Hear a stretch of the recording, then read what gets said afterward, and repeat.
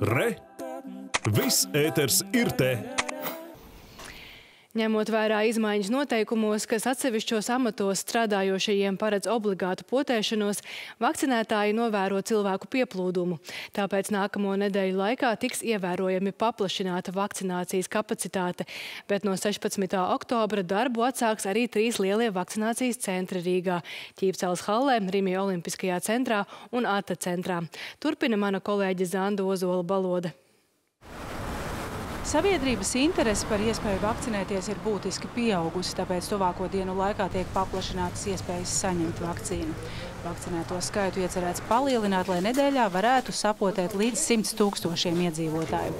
Tomēr, lai neveidotos garas dzīvās rindas, organizatori lūdz izmantot iespēju potēties ne tikai lielveikalos ārstniecības iestādes, ģimenes ārsti, tirzniecības centri, vakcinācijas punkti. Tagad būs lielie centri.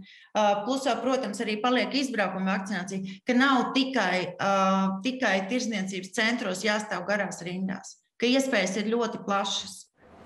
Pieteikties uz konkrētu laiku joprojām var vietnē Mana vakcīna. Vakcinācijas procesa rīkotāji gan norāda, visās vietās priekšroka tiks dota cilvēkiem virs 65 gadu vecumu.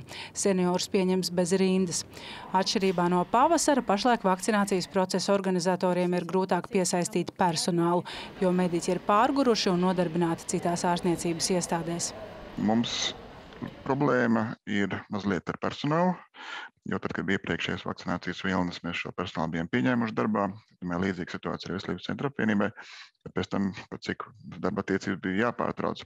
Tad šobrīd notiek aktīva rekrutēšana. Tā kā personāls jau šobrīd ir pārguris, veselības centru vadītāji aicina cilvēkus būt iecietīgiem un pieklājīgiem. Zandozo Baloda, Latvijas televīzija.